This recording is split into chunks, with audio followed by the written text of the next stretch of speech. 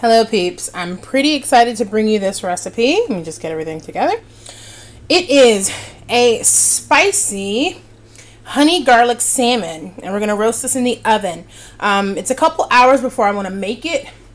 Um, it's actually like five or six hours before I want to make it but what I'm going to do is I'm going to show you how I season everything and I'm pretty excited. So we have some salmon here. This is about a pound of salmon, four fillets and um, got some roasted garlic here, roasted garlic olive oil, honey sriracha seasoning. Love this. I put this on cucumbers and tomatoes. Amazing. We're going to use a little, little bit of sea salt because that has salt. It's seafood. It's already has a lot of natural salt in it. We're going to have some minced garlic because I have a lot of fresh, but I do want to just use this too. Um, I'm going to use about half a cup of honey, which is like back there. And we're going to use about half a cup of honey Dijon mustard. Um, so we're really bringing in the honey flavors and we're going to use a ton of garlic. So first thing I'm going to do is actually season um, the, uh, one second, I have to take my gloves off. I should have, I don't know, should have thought this through better. I didn't, but I'm going to try and take my gloves off because we're going to season uh, this, like I said, a little, little bit of salt. And then, uh, sorry, we're going to put olive oil on first, rub that on, then a little bit of salt, and then uh, the honey sriracha seasoning. So I'm going to show you that when I get back. Here's the fish, all seasoned up. Season both sides because you eat both sides. Ah. So yeah, so here's the fish. It's in the container. I layered it up. Go in the fridge for uh, a couple hours till you're ready to cook it. Um, and then we will commence with making the sauce. So over here, actually I should have opened this and this. So here's my Dijon, my honey Dijon mustard. Here's my minced garlic. Yeah, I really should open all these. I use minced garlic and water, not oil. Because oil, no, tastes weird. And if the oil's bad, then the whole batch is bad. So, sorry. I should have had that prepped. Ignore that, it's windy. Anyway, so I'm actually going to spray my measuring cup. This is hard to do one-handed. I keep forgetting to bring my tripod. It's a little messy, but I'll clean the counter shake. I use avocado spray because canola tastes funny to me. And then this is half a cup. So we're going to do half a cup of honey.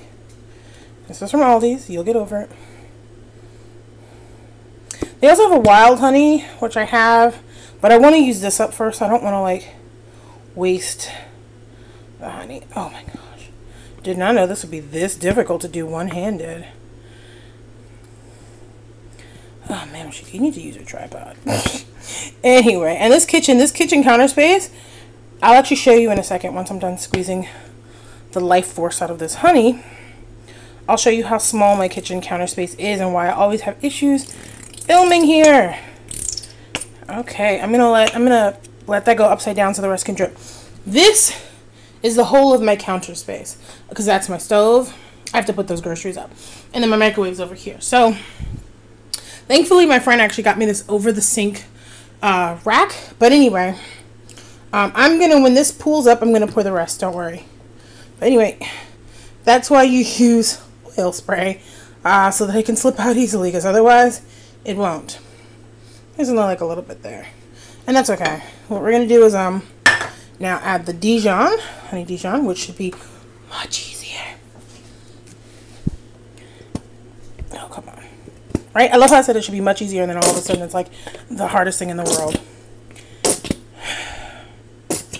Alright. Really? Ugh. Alright. Alright. I'm just gonna shake this, and then I'll get back to you guys. Don't worry.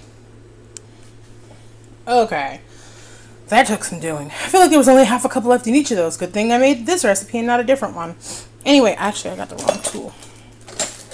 getting a fork out of my drawer. I'm going to get as much of the garlic out without water. So we're going to use, because a lot of recipes don't call for a lot of garlic and I don't understand how that works. Um, we're going to use about three tablespoons worth of garlic. And like I said, I use a fork. One, because it'll be easier to mix all of this. But two, because it'll drain some of the water. The water won't come with it. I don't want the water to come with it. A little bit. There we go. Now just gotta start mixing this up.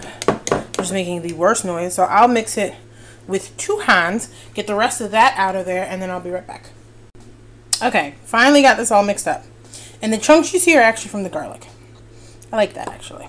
That's a lot. That's a lot more than um I think I'm to need for the uh, fish. So don't worry. And this will go in the fridge with the uh, fish because there's the garlic in here. Yep, they'll both go in the fridge. And then when I'm getting ready to make everything, then you'll see this and me and everything again. So I'll see you in a few hours. Hey peeps, so this has been marinating for whew, a few hours now, like four or five hours now. And here we go. Here's our shaman. I'm going to just put it on this uh, foil lined tray, which is to be good for a couple reasons. It'll help us uh, like keep the sauce from like burning if it hits the bottom of the pan. Plus it's easier cleanup. Like I still, like I don't know what other people do, but I know I still wash my pans when um I have to clean when I use foil. So anyway, take this glove off. Don't need it anymore. Then I'm gonna get out a ooh, drop it on the floor. Then I'm gonna get a spoon out.